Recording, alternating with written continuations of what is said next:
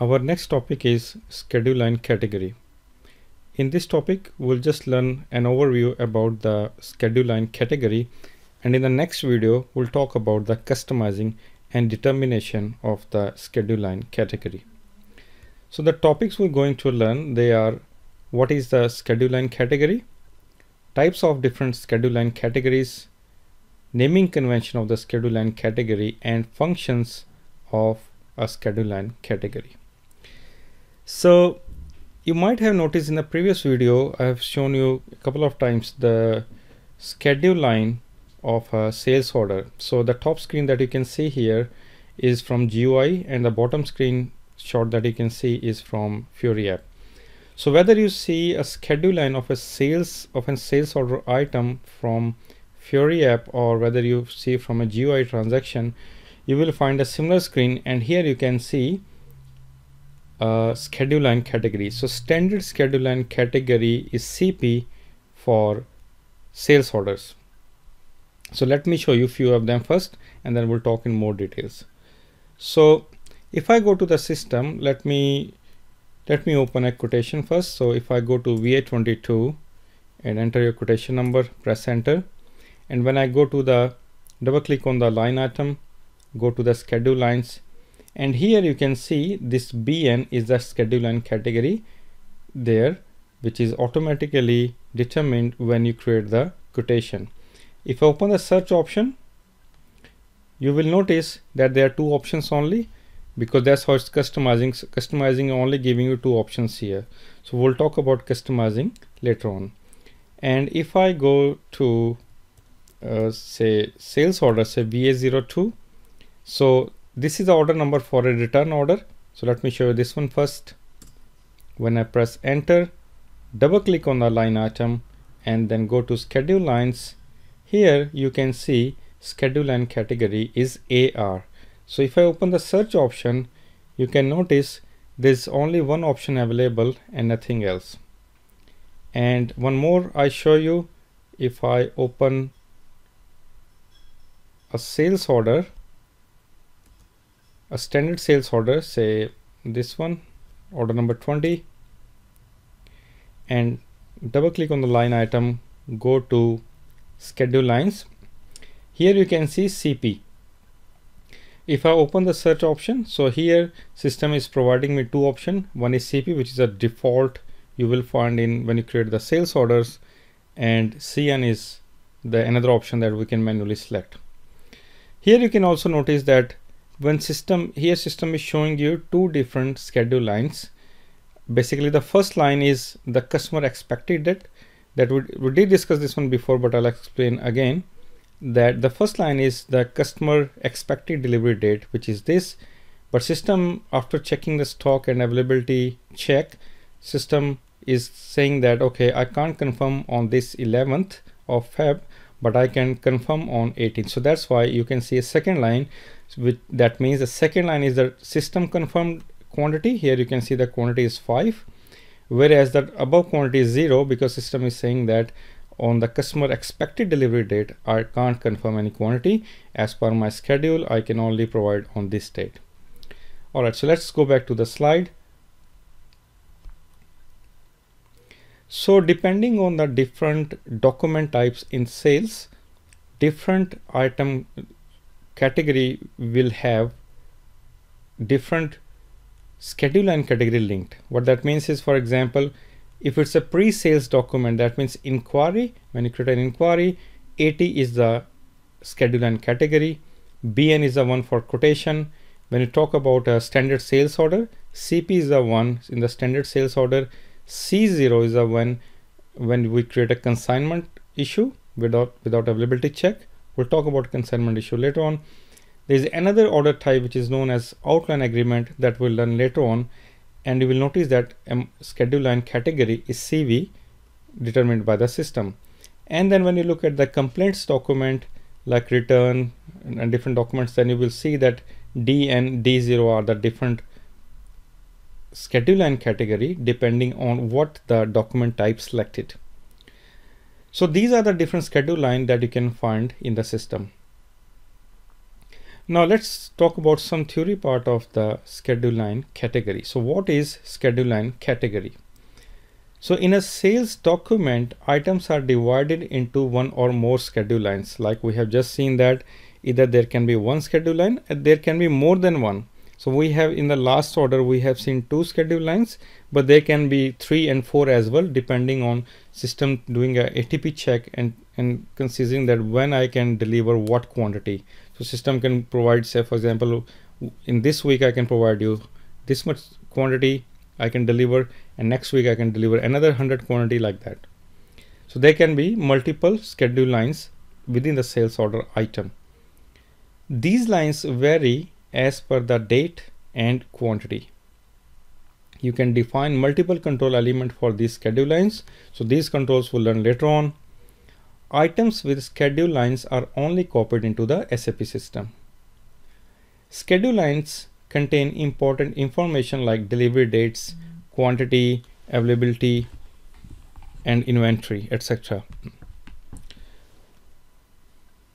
One more thing I want to show you when you go to the, let's open this one. So if I double click on this, say this second one, if I double click on this schedule line category, you can see three different tabs. Again, same tabs will appear whether you look from GUI or whether you look from the Fiori app.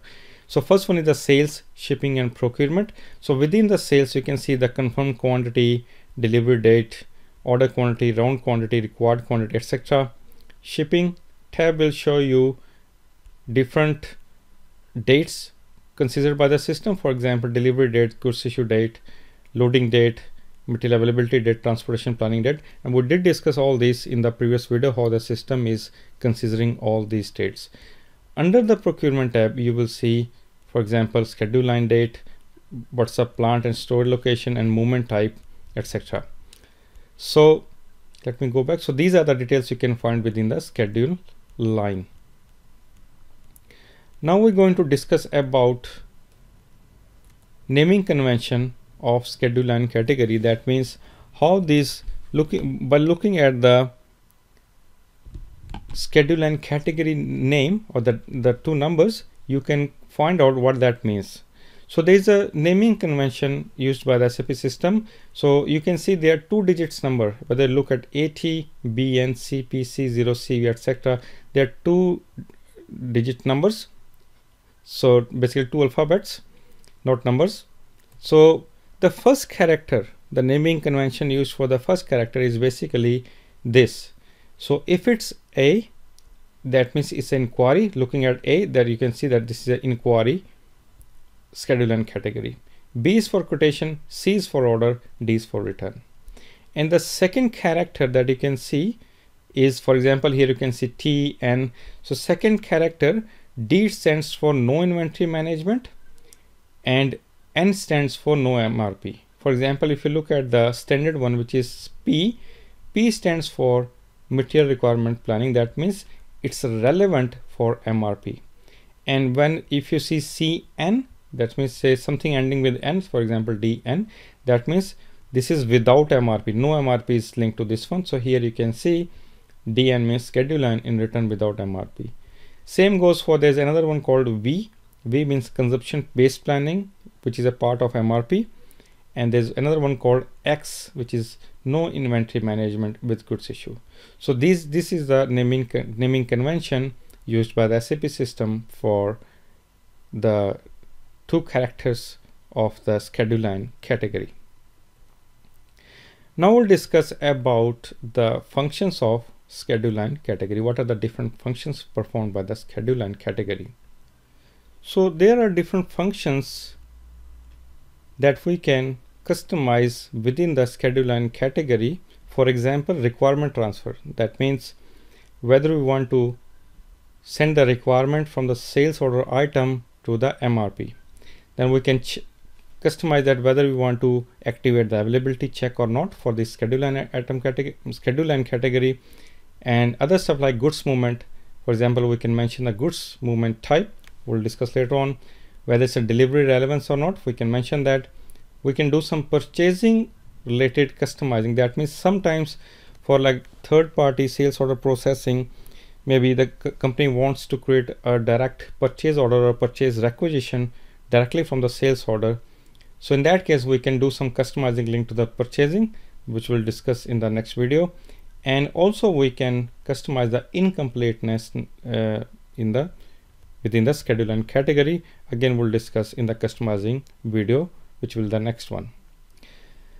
So as we discussed that the different controlling the items we can do in the customizing for the sales document. So let's discuss what are the different controlling that you can find within when you look at the different item different schedule line category for example if you look at the bn which is a quotation schedule line category here in the customizing what we, what we mention is no requirement transfer because obviously when we create a quotation it's not a real sales order it's not a real requirement from the customer.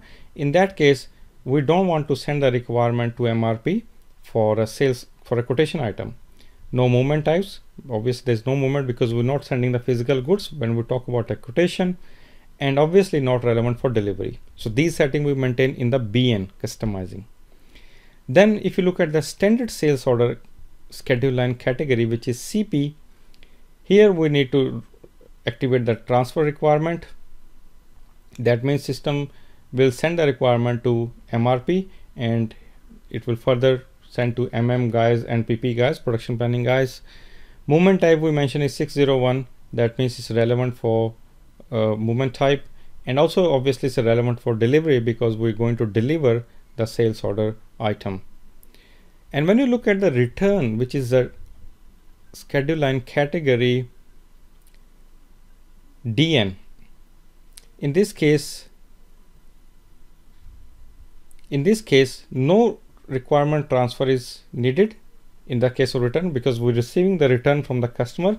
So obviously there's no requirement transfer, nothing we need to send to the MRP. A movement type is different because the goods are coming back to us, not we, it's not we sending the goods to the customer and this is relevant for delivery, but it will be an inbound delivery and CP will be an outbound delivery. So these are the different settings that we can maintain within the customizing of the schedule line category that we'll discuss in the next video. So that's all about this video. So now we learned about what is schedule line category, what are different types of schedule line category, and how the naming convention is done for them, and also the functions of the different schedule line category. So that's all about this and thank you to watch this. We'll catch up in the next video.